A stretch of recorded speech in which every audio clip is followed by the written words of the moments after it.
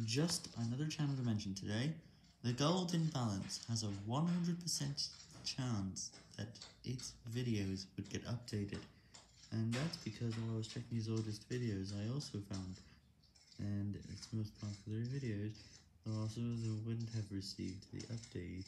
It happened across all of its videos, although there are other channels that are found, and this one is a sad case, it only has a million subscribers, and I also don't know what happened, and what caused them. Either way, it's sad that the original transcripts for these videos is lost forever. And I also have tried some foods that I haven't tried in years, including, well, these two foods, and one that I never tried.